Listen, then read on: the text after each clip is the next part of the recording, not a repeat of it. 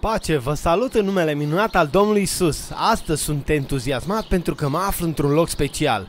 Chiar în spatele meu se află clădirea administrativă a Colegiului Louisiana. Acest loc are un loc special în inima mea pentru că atunci când m-am pocăit, deși eram în clocot pentru Hristos și îl iubeam cu toată inima pe Domnul și le spuneam tuturor Evanghelia, păstorul meu mi-a zis, fiule, ai nevoie să aprofundezi mai mult Biblia, așa că trebuie să mergi la școală. Atunci am aflat de la el de o școală creștină din Pinville, Louisiana, cu numele Colegiul Louisiana. Aici am ajuns să aprofundez mai mult Biblia, să o studiez și să cresc tot mai mult spiritual. Până la urmă, așa cred că fiecare ucenic al Domnului trebuie să crească spiritual. Și noi am mai vorbit în trecut ce înseamnă să fii ucenicul Domnului. Vă mai aduceți aminte ce înseamnă să fii un ucenic? Ei bine, deasupra tuturor lucrurilor este necesar să analizăm semnificația cuvântului ucenic. Un ucenic este un învățăcel, un ucenic este un student al Bibliei. Așadar, atunci când vei deveni un ucenic, vei avea inima unui om ușor de învățat. Chiar Domnul Isus și-a învățat ucenicii să se roage. Iar ce este interesant este că ucenicii săi au văzut asta înainte la ucenicii lui Ioan Botezătorul, care au fost învățați de acesta să se roage, așa că l-au rugat, Doamne, învață-ne să ne rugăm.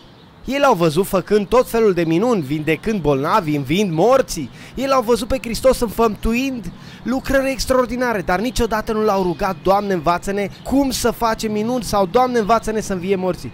Ci ei l-au rugat simplu, Doamne, învață-ne să ne rugăm. Ei știau că acesta era secretul lucrării sale.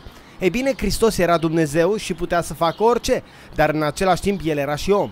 El era Fiul lui Dumnezeu și Fiul omului. În același timp, ca și om s-a rugat. Ca și Dumnezeu nu trebuia să se roage, dar El s-a rugat ca și om. El ne-a arătat cum trebuie să trăim într-o dependență totală de Tatăl. Trăind în această dependență de Tatăl, L-au văzut ucenicii în fiecare zi pe Domnul Isus. El se trezea dis de dimineață și căuta fața Tatălui. De aceea ucenicii l-au rugat să învețe cum să se roage, iar Domnul Isus le-a răspuns la această rugăminte învățându-i câteva lucruri esențiale. Și imediat am să vi le enumăr. În primul rând, Domnul i-a învățat că rugăciunea lor trebuie să fie focalizată pe Dumnezeu. Tatăl nostru care ești în cerul, sfințească-se numele Tău. În al doilea rând, i-a învățat să roage pentru lume, vie împărăția Ta, facă-se voia Ta, precum în cer așa și pe pământ. Iar în al treilea rând, Domnul a învățat pe ucenici să vină cu nevoile lor înaintea lui Dumnezeu. Pâinea noastră cea de toate zile dă-ne nouă astăzi. Apoi a învățat unul din cele mai importante principii și anume fundația întregului creștinism și anume crucea. I-a învățat să se roage pentru iertarea păcatelor.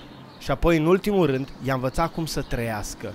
Și nu ne duce pe noi în ispită, ci izbăvește-ne de cel rău.